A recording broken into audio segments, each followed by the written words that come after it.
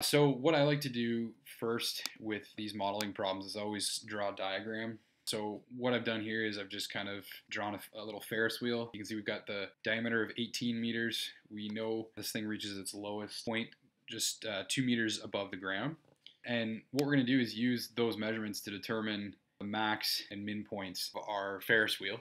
Uh, so we know that if our diameter is 18 meters and the lowest point is 2 meters above the ground, we, we know that this thing reaches a max height of 20 meters, which as it turns out is pretty useful for finding our amplitude. So what we're going to do is just kind of find the amplitude, the vertical shift, talk about the phase shift a little bit, and the period.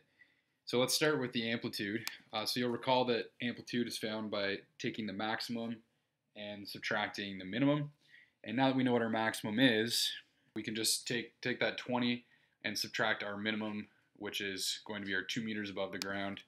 And if we divide that by 2, we're going to get 9, which, which is our amplitude for our sine function. So next thing we want to look at is our vertical shift. And you'll recall that that's max plus min over 2 uh, kind of a handy little formula to find the vertical shift. So I'm going to take my max value of 20. I'm going to add 2 and divide by 2 to get 11 for my vertical shift. All right, so the next thing to look at is the period.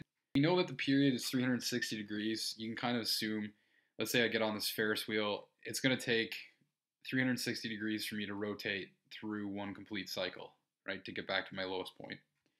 So given that the period's 360 degrees, we know that period is equal to 360 over k. We can just kind of rearrange some simple algebra and get k is equal to 1. So that isn't really going to make a big difference in our equation. Okay, so the last thing we need here is our phase shift, and that should finish off our sine function that we were looking for. What I like to do to help me with these uh, phase shifts is to just kind of envision a rough sketch of what our, our function would look like if we were to graph it. And because we know we're starting our rotation at our lowest point, you could envision our graph to look something like this. We're starting at this point right here at 2. We're going through one full rotation in 360 degrees, means we reach our maximum 180 degrees from our minimum. And what we want to do is figure out what value for a phase shift would turn this thing into a sine graph. Now remember that sine starts at the value of the vertical shift. Okay, so if you picture this bar sort of cutting off the rest of this graph, we know that our sine function would start at this value right here. So we're looking for this, this particular angle that would give us this value. And as it turns out, if this whole period is 360, we reach a max in 180, we're going to reach this point here in half of the distance between 0 and 180, which as it turns out is 90 degrees. So if we envision this as as a sine graph that's been shifted to the right by 90 degrees, our phase shift would be 90 degrees to the right.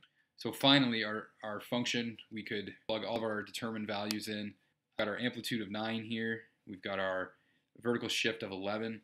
We've got our period. We found our k value to be 1, which I haven't written here uh, for the sake of simplicity. And we've determined that we've got a phase shift of 90 degrees to the right.